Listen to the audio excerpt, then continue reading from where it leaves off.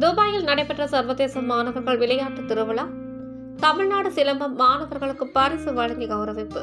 ஐக்கிய அரபு அமெரிக்க துபாயில் உள்ள டன்யூப் ஸ்போர்ட்ஸ் வேர்ல்ட் விளையாட்டு உள்ளரங்கில் நடைபெற்ற ரோவர் சர்வதேச மாணவர்கள் விளையாட்டு திருவிழா இரண்டாயிரத்தி இருபத்தி மூன்று. இவ்விளையாட்டில் தமிழர்களின் பாரம்பரியமிக்க கலைகளில் ஒன்றான சிலம்பாட்டம் போட்டி தமிழ்நாட்டிலும் வளைகுடா நாடுகளில் ஒன்றான கத்தார் நாட்டிலும் நடைபெற்றது.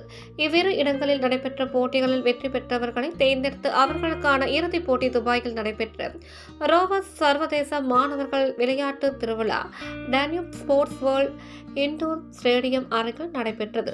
இவ்விறுதிப் போட்டியில் வெற்றி பெற்ற மாணவர்கள் திறமைகளை பாராட்டும் விதமாக சிலம்பம் இறுதிப் போட்டியில் வெற்றி பெற்றவர்களுக்கு துபாயில் பரிசுகள் வழங்க இந்த நிகழ்வில் கலந்து கொள்வதற்கான துபாயில் உள்ள பிரபலங்களான ஃப்ரீட் மைல்ஸ் ஈவெண்ட் நிறுவன மக்கள் ஆர்ஜே சாரா.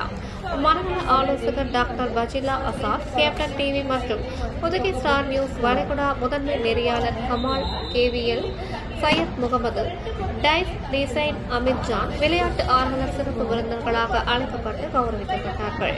மேலும் இந்த நிகழ்ச்சி ஒருங்கிணைப்பாளர் ரோவ சிஇஓ ஜிலனி சுபாகன் ஒருங்கிணைப்பில்.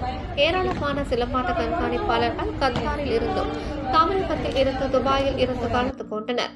மேலும் வெற்றி பெற்றவர்களுக்கு நிகழ்ச்சியின் ஒருங்கிணைப்பாளர்கள் மருத்துவர்கள் சிறப்பு விருந்தினர்கள் உள்ளிட்டோர் சான்றிதழ் மற்றும் பதக்கங்கள் வழங்கி கௌரவித்தனர்.